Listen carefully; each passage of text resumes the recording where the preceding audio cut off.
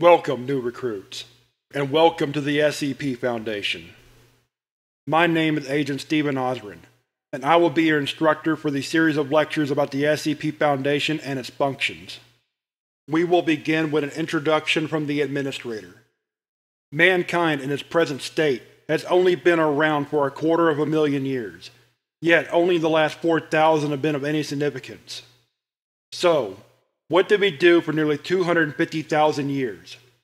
We huddled in caves and around small fires, fearful of the things that we didn't understand. It was more than explaining why the sun came up. It was the mystery of enormous birds with heads of men and rocks that came to life. So we called them gods and demons, begged them to spare us, and prayed for salvation. In time, their numbers dwindled and ours rose. The world began to make more sense when there were fewer things to fear. Yet the unexplained can never truly go away, as if the universe demands the absurd and impossible. Mankind must not go back to hiding in fear. No one else will protect us, and we must stand up for ourselves. While the rest of mankind dwells in the light, we must stand in the darkness to fight it, contain it, and shield it from the eyes of the public, so that others may live in a sane and normal world. We secure we contain, we protect. The Administrator. Mission Statement Operating clandestine and worldwide, the Foundation operates beyond jurisdiction, empowered and entrusted by every major national government with the task of containing anomalous objects, entities, and phenomena. These anomalies pose a significant threat to global security by threatening either physical or psychological harm. The Foundation operates to maintain normalcy, so that the worldwide civilian population can live and go on with their daily lives without fear, mistrust, or doubt in their personal beliefs, and to maintain human independence from extraterrestrial, extra-dimensional, and other extra-normal influence. Our mission is threefold. Secure. The Foundation secures anomalies with the goal of preventing them from falling into the hands of civilian or rival agencies through extensive observation and surveillance, and by acting to intercept such anomalies at the earliest opportunity. Contain.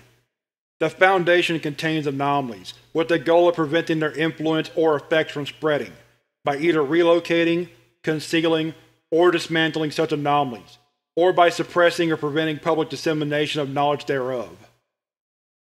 Protect.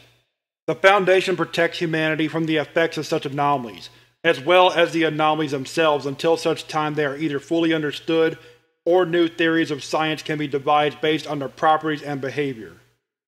The Foundation may also neutralize or destroy anomalies as an option of last resort, if they are determined to be too dangerous to be contained. Foundation Operations Foundation covert and clandestine operations are undertaken across the globe in pursuit of our primary missions. Special Containment Procedures the Foundation maintains an extensive database of information regarding anomalies requiring special containment procedures, commonly referred to as SCPs.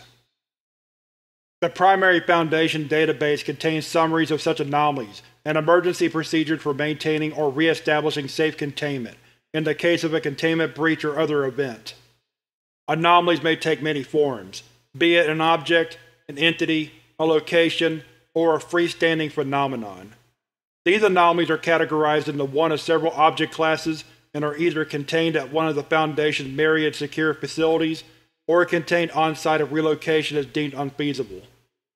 Operational Security The Foundation operates with the utmost secrecy. All Foundation personnel must observe the security clearance levels, as well as need to know and compartmentalization of information. Personnel found in violation of Foundation security protocols will be identified detained, and subject to disciplinary action.